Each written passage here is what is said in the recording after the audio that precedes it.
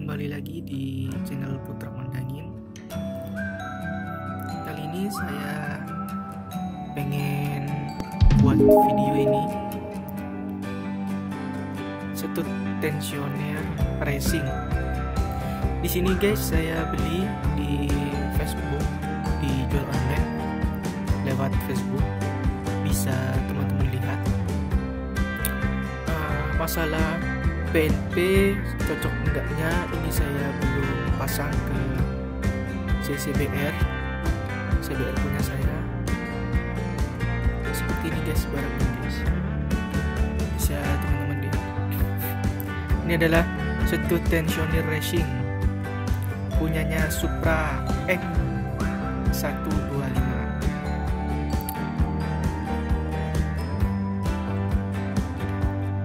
nanti dalam video pemasangan saya akan buat video juga uh, untuk video selanjutnya.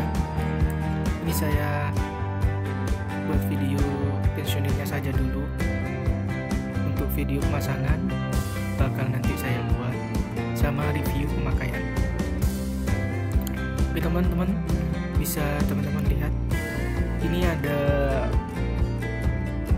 geriginya untuk tensioner racing beda dengan tensioner yang orinya bawaan dari CBR saya itu baru beli sepeda motor sekitar udah 8 bulanan. Udah mau minta ganti. Tensioner udah bunyinya nggak enak banget. Jadi saya beli tensioner karena dari yang saya baca di YouTube atau yang saya lihat di YouTube kemungkinan besar itu dari tensioninya.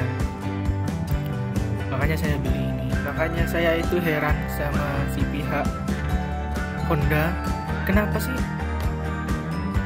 motor sport itu apalagi CBR kok sering penyakitnya ini tensioner padahal motor itu kelas tinggi lah. Gitu. aduh ampun. kena ininya.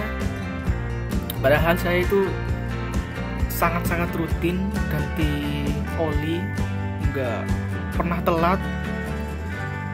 Dan sering dijaga sepeda saya itu. Nggak tahulah heran saya guys. Masalah harga ini sangat murah sekali. Sekitaran nggak nyampe 100 ribu. Ini saya beli 65 guys.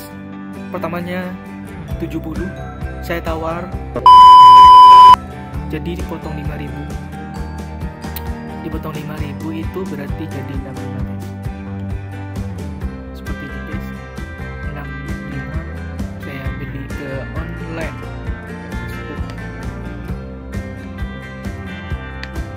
Insya Allah nanti saya pasang sendiri guys.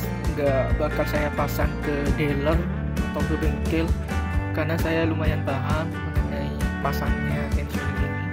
Yang mau pasang ke dealer itu agak ragu guys. Sama bengkel agak ragu dikit lah gitu. Soalnya saya pernah servis ke bengkel sama dealer. Semuanya itu gimana ya? Nggak terlalu oke okay lah gitu. Ya mungkin kurang tahu juga sih sebenarnya saya. Sampai pemasangan firing itu rusak banget guys. Dua-duanya dealer sama bengkel. Jadi saya sekarang nggak terlalu nggak hmm, terlalu servis lah ke sana. Mau cari bengkel yang lumayan oke okay sama dealer yang bisa naik oke guys seperti ini guys 65 ribu guys. Uh, untuk teman-teman nanti kalau mau beli stut tensioner racing itu kalau bisa kalau menurut saya yang saya baca itu ada yang harus ada geriginya biar nggak kumat lagi nggak bunyi lotok-lotok lagi. Seperti ini bentuknya. Uh, sebenarnya sih beda-beda. Ada yang punyanya vario tergantung mau pakai yang racing atau yang biasa atau yang standar. Ini guys bisa.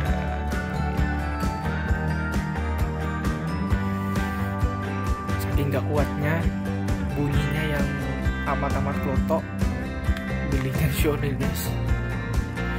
Mau beli ke dealer takutnya mahal guys.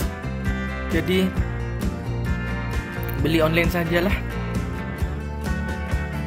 biar murah jujur saya cari tensioner ini sangat sulit sekali di daerah Surabaya.